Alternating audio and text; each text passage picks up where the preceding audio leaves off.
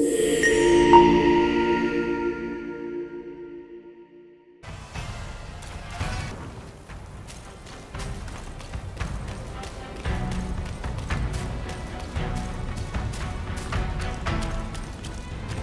once told me, out of sight, out of mind is a fool's task.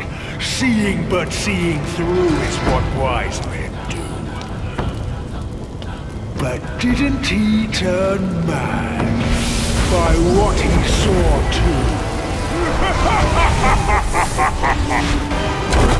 too?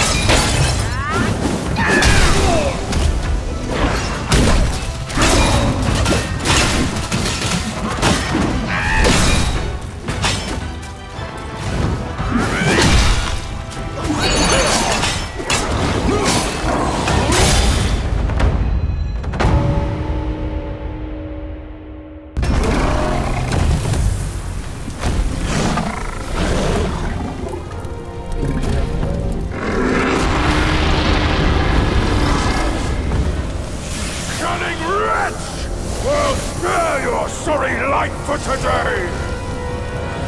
Fortune is no longer on your side! No one will come to your aid. All I need is to take it elsewhere and rebuild everything anew!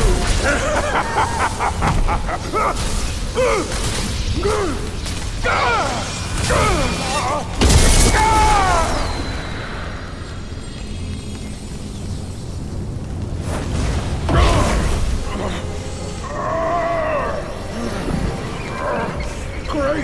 The!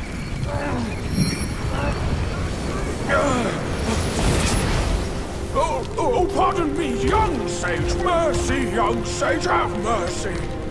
I was just a pawn of the Celestial Court, if given a choice, who dared to challenge the mighty wrecker of the Celestial Palace? His words ring true.